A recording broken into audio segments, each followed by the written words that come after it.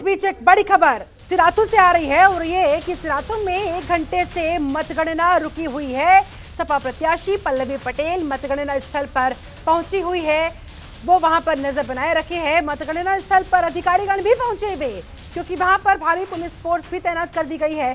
फ़िलहाल स्थिति पर नज़र रखी जा रही है। डीएम, एसपी, एडीएम, हर कोई वहाँ मौके पर पहुँचा हुआ। भारी सुरक्षा बल भी वहाँ पर तैनात किया गया ताकि स्थिति अनियंत्रित न होने पाए।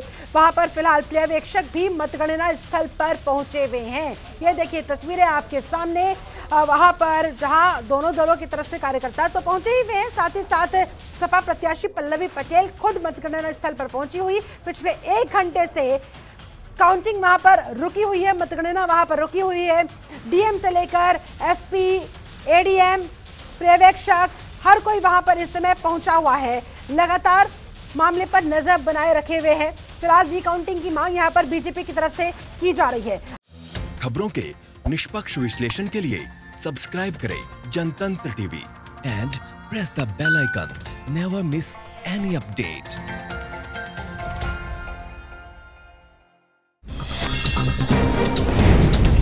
download कीजिए जनतंत्र टीवी ऐप को। जो कि अवेलेबल है गूगल प्ले और ऐप स्टोर पर। अधिक जानकारी के लिए अभी डाउनलोड करें।